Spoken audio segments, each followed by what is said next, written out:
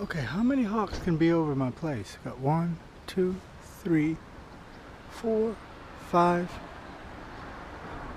What is going on, Harold? I hope you're safe. I'm automatically attracted to beautiful women. I just start kissing them. It's like a magnet. Just kiss. I don't even wait. And when you're a star, they let you do it. You can do anything. Grab them by the. What could that be?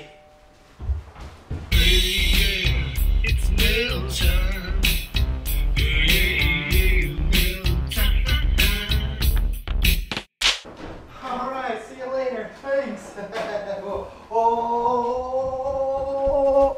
I got some mail.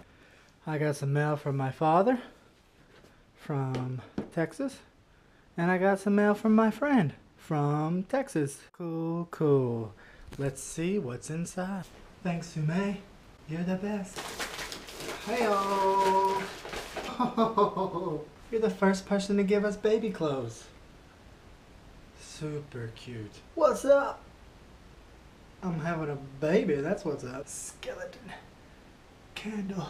Oh, pumpkin man. Oh, this is gonna scare the shit out of the kids. Oh.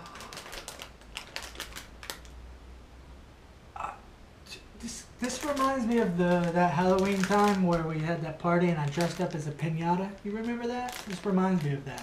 Was that on purpose? Probably not. This cool looking box is for my dad. These pencils are perfect. This is just the extra little thing I needed to give the kids. I'm definitely gonna scare the shit out of the kids with this. I just took a trip down nostalgia lane with these bad boys.